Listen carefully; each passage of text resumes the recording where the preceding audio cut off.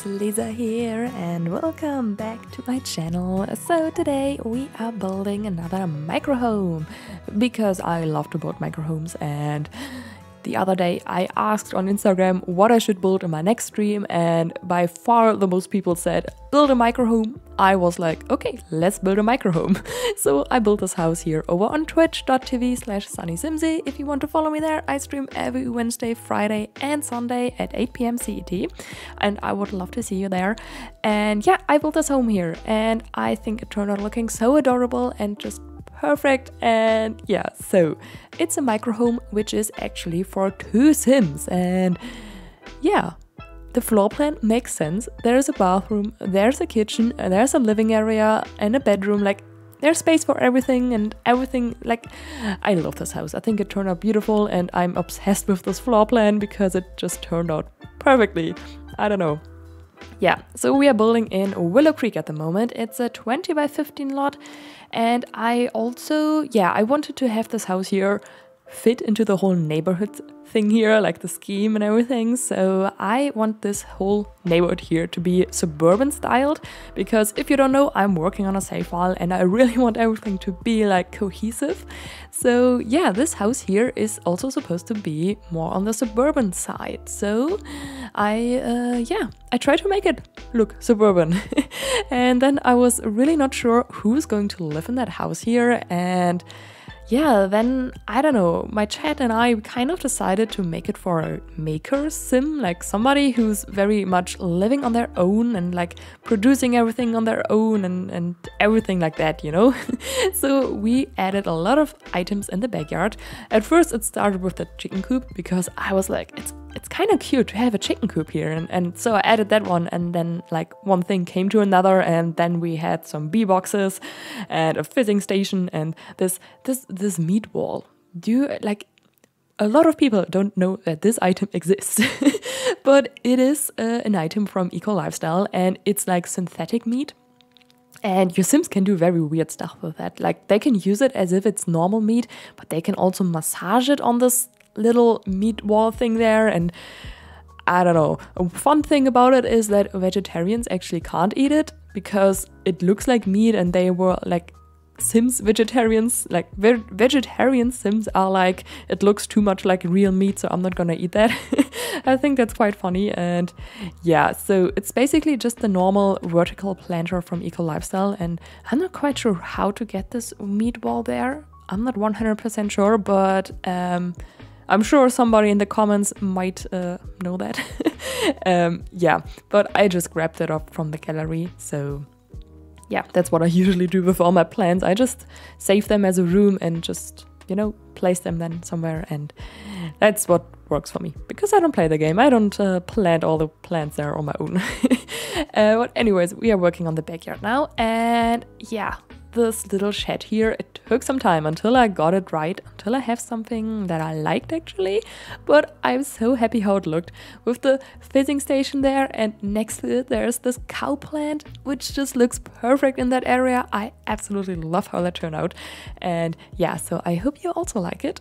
Um, yeah, so I'm, I'm very happy with this backyard actually.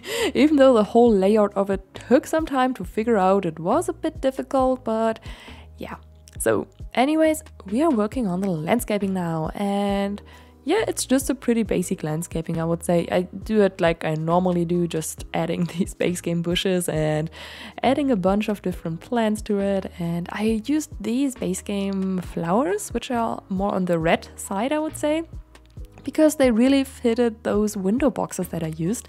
And I love that, how like cohesive those two items were, and just to have some nice yeah, cohesiveness in the house on the exterior, I would say.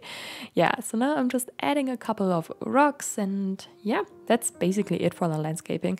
I think we will add some kind of trees as well, but yeah, no, first we are gonna change up some floorings and everything also adding some lamps and oh this wall here next to the trash cans I didn't really know what to do with that because it looked so empty and I don't like empty blank walls I don't know. I'm I always need to add something there. So I decided to add these flowers and wait, I'm gonna try to pronounce the word because in my last video or like one of my last videos I asked for people like how is this item called? How should I pronounce that? And they were actually quite helpful comments. So this this walk this plant there, this flower on the wall, the bougainvillea. Hope I pronounced that right. Yeah, I love to use that item and I use it there on the wall just to cover it up. Yeah, and I'm quite happy how that turned out, just to make it look more detailed and everything. So, yeah, now I'm just adding more terrain paint everywhere. Just, yeah, that's what I usually do. And I did not use the stepping stones, and I'm so happy about that. like, I'm so proud of myself because I use them all the time. I use them everywhere. And yeah, so I really tried to not use them here, and I think that's, uh, it worked out. I like the terrain paint like this, so yeah, I just, I use them everywhere in every single build recently, and I just kind of like, I want to get away from them a bit, a little bit more, so that I just don't use them everywhere, but anyways, yeah, working on the terrain paint now, and I think I'm just gonna add some trees now. Yep, trees, yay. Oh, and also I grabbed those apple trees from the gallery, because I thought that's kind of nice. If they, if the Sims who live here, if they make everything on their own, I think apple trees are a nice thing as well, so that you can have fresh apples each autumn, I think. Do they grow in autumn?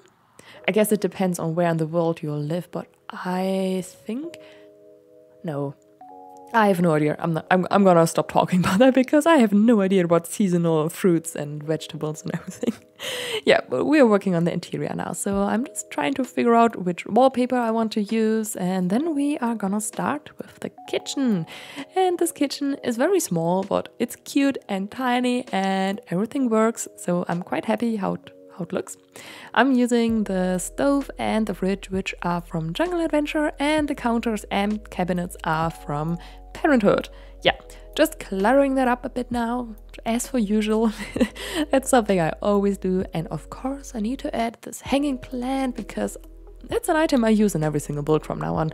So uh, yeah, it's just, I love this hanging plant. It's from the Blooming Rooms kit and it's just, I'm obsessed with this item. like, I appreciate this item so, so much. And can we please have more hanging plants in the game? Like, I know this one comes in different swatches and everything, and I I love this item. But can we have more of these, please? yeah, I don't know. The Blooming Rooms kit is just an amazing kit. I love that one. Yeah. Also, the new kit came out co comes out today, right?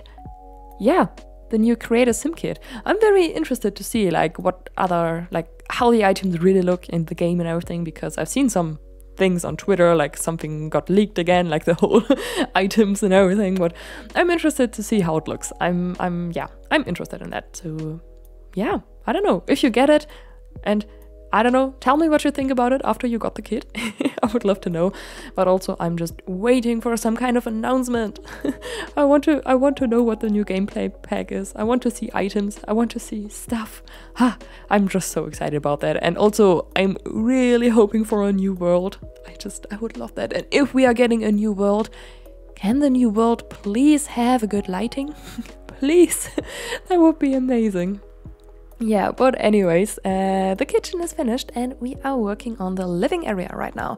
So there is a TV and also a couch and yeah, I just, I love how open this whole space here looks. It doesn't really feel that small. It's only 32 tiles, but it's just, it's not as small as you might think it is.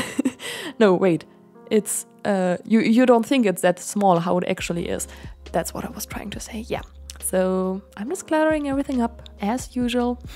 and I even had some space left where I was like, I don't know what to put there. Like next to the TV, I was like, okay, what, what should we put there? And I just decided to add uh, a stereo there and I kind of like that.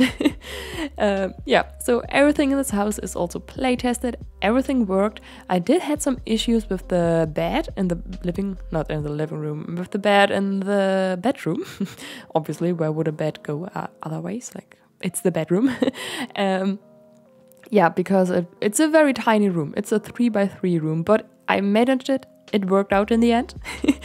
um, yeah, because you technically you can you can have a bedroom and this small. It it's functional like that. But yeah, I did had to remove this hanging plant there because that was blocking my sim from going there.